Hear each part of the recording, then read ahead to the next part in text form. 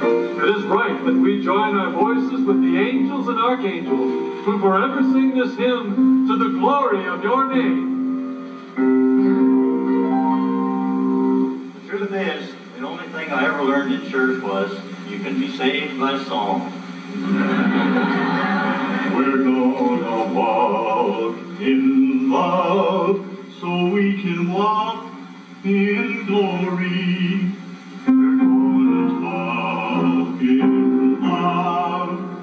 Sweet,